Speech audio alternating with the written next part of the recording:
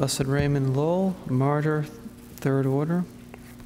Raymond belonged to the noble Lull family and was born at Palma on the island of Mallorca in 1236. At a very early age, he became a page at the royal court.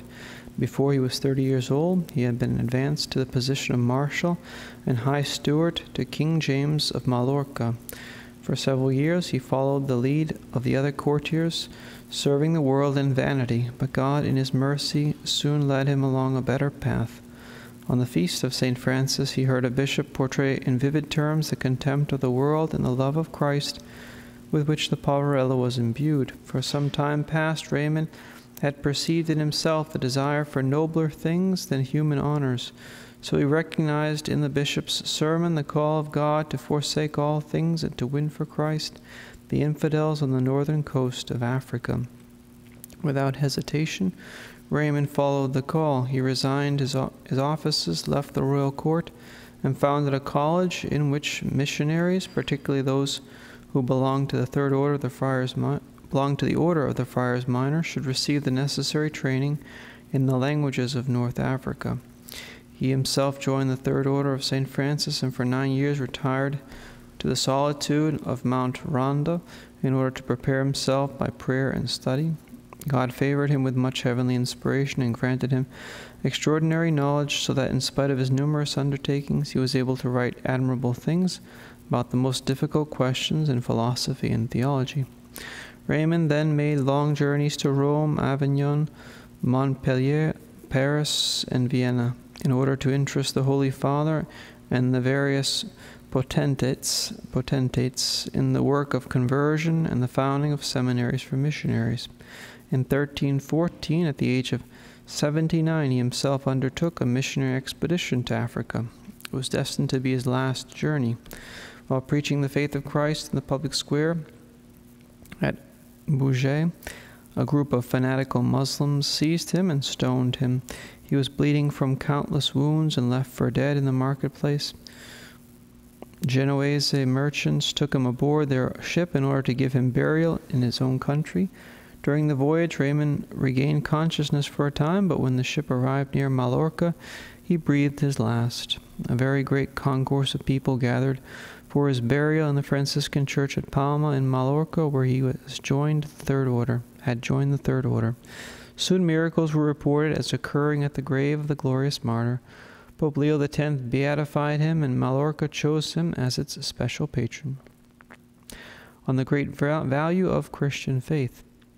As soon as the eyes of Blessed Raymond were opened by the word of God and interior grace, he perceived that all material things are nothing when compared with the inestimable treasures of the Christian faith. For nine years, he retired into solitude in order to make a thorough study of the faith by reading religious books, by meditation and prayer.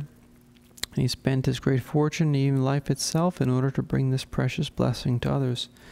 St. Augustine held that the faith in like fell held the faith in like regard when he said, No amount of wealth, no treasure, no honor, no worldly advantage is greater than the Catholic faith. Faith alone teaches us the true value of things, for worldly knowledge is subject to error. Whatever the Christian faith teaches is infallible truth, for he believes in the Son of God who has the testimony of God in himself. 1 John 5:10.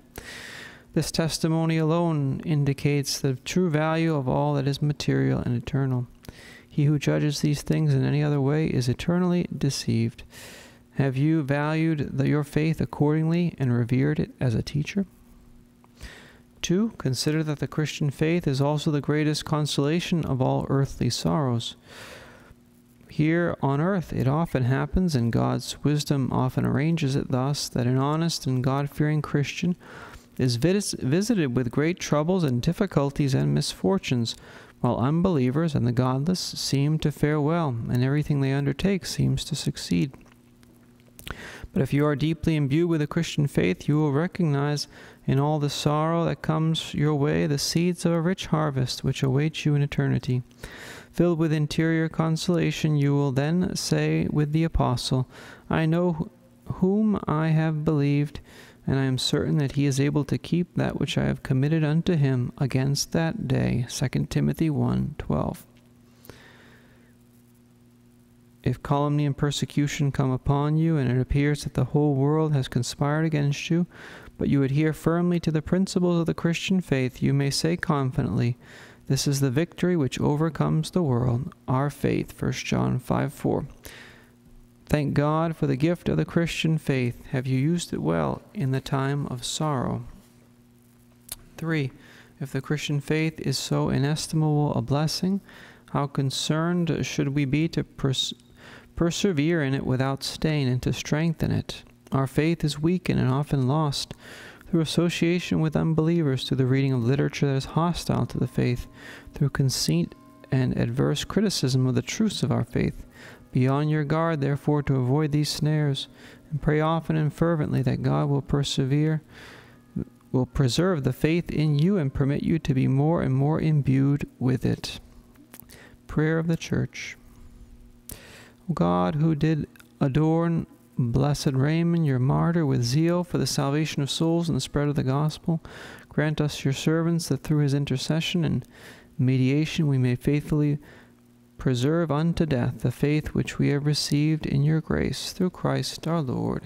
Amen. Blessed Raymond Lull, pray for us.